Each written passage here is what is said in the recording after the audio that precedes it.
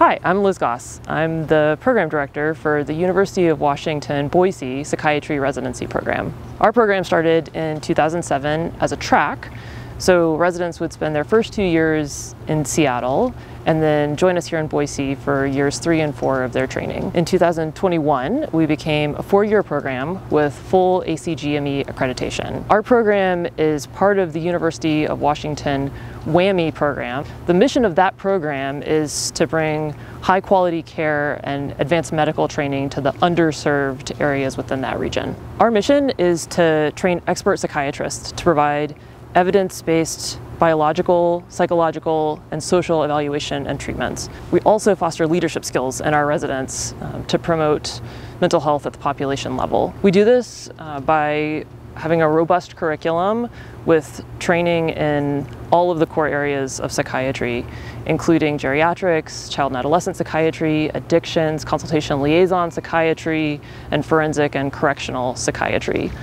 Although many of our graduates have gone on to do fellowships at prestigious institutions, we also recognize that psychiatrists in rural and underserved areas will be called on to have a broad scope of practice, and our training prepares them to do that. We've worked hard to create a curriculum that meets these goals. In their first year, our residents spend half of their time on non-psychiatry rotations, including internal medicine, emergency medicine, and neurology at the Boise VA and St. Luke's Hospital. The other half of their time is spent on inpatient psychiatry rotations, which happen here at the Boise VA as well as at the Idaho State Correctional Institution and the State Hospital in Blackfoot, Idaho. In their second year, our residents divide their time between various inpatient consult and residential experiences. They rotate on a high acuity inpatient unit in the community at St. Alphonsus Hospital and they also work at the residential treatment center here at the Boise VA for substance use disorders and PTSD. In addition, they do rotations at St. Luke's Hospital on the consult service, and they work in our emergency rapid access clinic here at the Boise VA. In their third year, our residents complete their core geriatric rotation here at the Boise VA and their core child and adolescent experience at St. Luke's. The remainder of the elective curriculum in the third and fourth year is tailored to each resident's educational goals.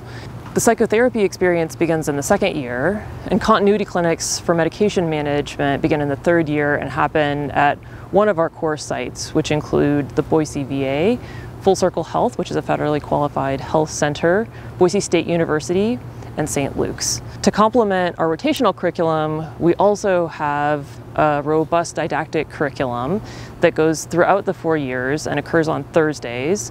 The residents have protected time on Thursdays for didactics, which are taught by our faculty who have expertise and subspecialty training in all of the core areas of psychiatry. Who are our residents? Who joins us here in Boise for their psychiatric training? Our residents tend to be folks who are interested in advocating for patients with mental illness in underserved settings.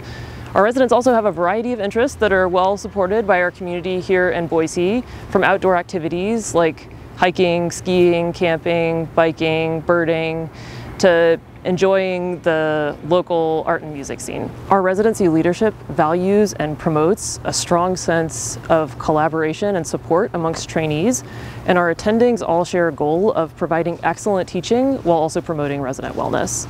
Because we're a relatively smaller program with only four residents per class, our residents get a lot of individualized feedback and mentorship from their attendings. We want our residents to be leaders in the community, and our goal is to recruit trainees who share that vision.